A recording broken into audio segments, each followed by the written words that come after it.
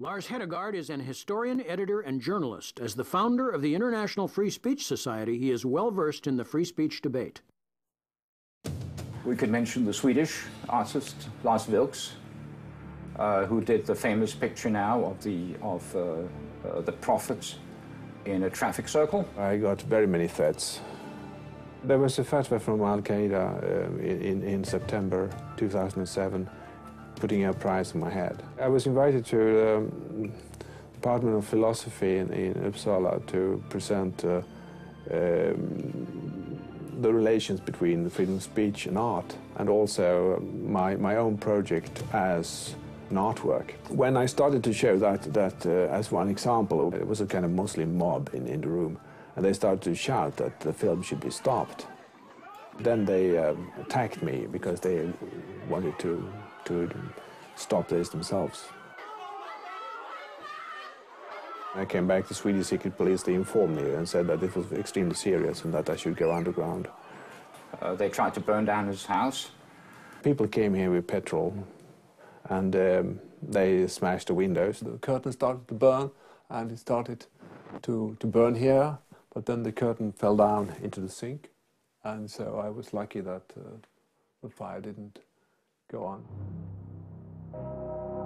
We can mention some politicians that are being uh, protected, that need protection uh, 24 hours a, a, day. I was working on a, on a short film which would be very tough on uh, Islam. And I thought about the name and I thought fitna, which means ordeal. There's a concept in Islam called fitna, which means uh, persecution originally.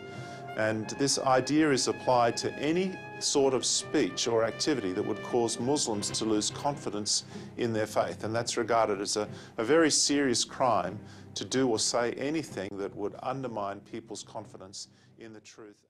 Flemming Rose is the culture editor of the Danish newspaper Jyllands-Posten that published the controversial Danish cartoons on September 30, 2005. I just invited cartoonists in Denmark to draw the prophet as they saw him.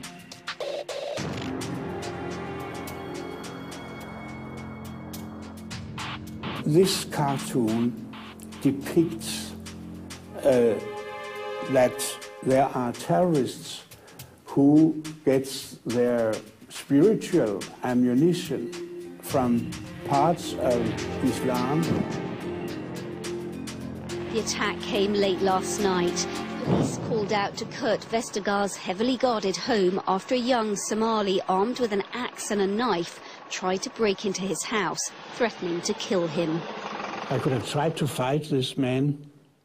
He was armed with a big knife and a very big axe in uh, the living room, and then I would have been killed just before the eyes of, of, uh, of uh, Stephanie, the, the grandchild. They are acting on the basis of the assumption that the Sharia has already been implemented in Europe. Denmark and other countries are already part of the Dar al-Islam, Islam's house. Otherwise, they would not behave that way. On January 31, 2011, Lars Hedegaard was acquitted of the charges of hate speech against him. The prosecutor appealed the decision, and on May 3, 2011, a panel of three judges in the Eastern Superior Court in Copenhagen convicted Lars Hedegaard of hate speech. He appealed his conviction, and on April 21, 2012, the Danish Supreme Court ruled to acquit Lars Hedegaard. However, the court did not strike down the statute he was prosecuted under, leaving the door open for future future hate speech indictments.